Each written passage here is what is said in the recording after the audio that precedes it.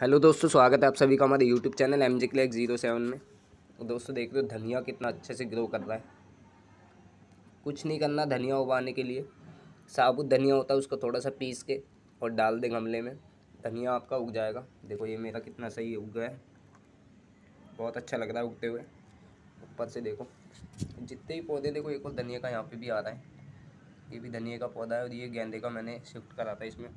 और ये दो गेंदे के पौधे यहाँ पे शिफ्ट करें, ये भी देखो जल्दी जल्दी ग्रो कर रहे हैं। और जितने भी पौधे हैं, सारे पौधे अच्छे से ग्रो कर रहे हैं, क्योंकि इन्हें मैं टाइम पर पानी और धूप सब कुछ दे रहा हूँ। और इनकी ध्यान भी रखता हूँ, खाद वगैरह हर टाइम हर दो चार दिन में एक बार खाद ज़रूर डालें पौधों में।